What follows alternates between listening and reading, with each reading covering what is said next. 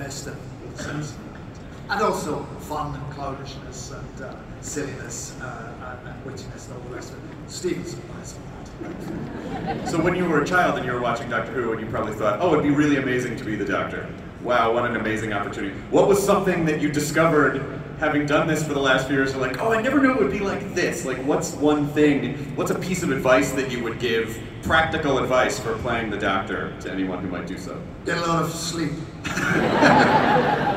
Because you're going to be up early every day uh, uh, and be there all the time. Learn, learn all your lines. And um, I never, I never grew up thinking what it would be like to play the Doctor. I just thought the Doctor was the most amazing character that, that, that I could see. Uh, and uh, so I, I, didn't, despite uh, the publicity department's efforts um, uh, to make everyone believe this and, and, and that they were successful, uh, I didn't spend my whole life grieving about the fact that I wasn't playing Doctor Who. I was just getting on with my, my life as an actor, but, but I, I loved the, the, the, show and the character deeply. Um, so it was a great thrill and surprise to find myself in it.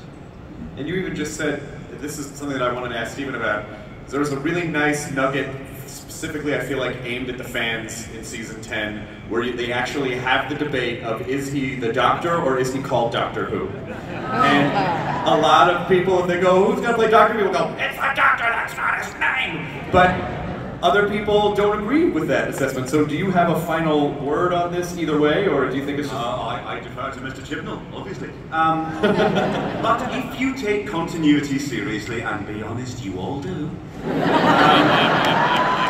there isn't any doubt about this. I'm sorry. It was established in the War Machines that his name is Doctor Who. All right, there it is. He was called Doctor Who. I'm so sorry.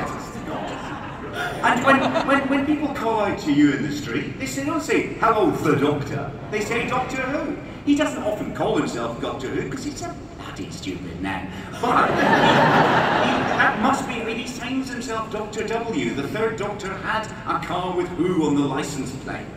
He is not a master of subtlety. He thought, in order to be mysterious, I'll call myself Doctor Who. However, if you prefer to believe that he's really that he calls himself the Doctor and that's just the name of the show, that's also equally true. Because what would Doctor Who continuity be without blatant and unresolvable contradiction?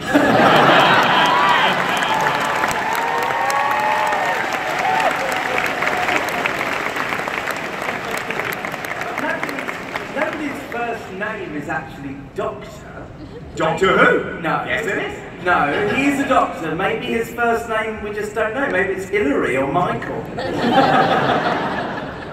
Hi, Michael who? It's Doctor. Oh, all right.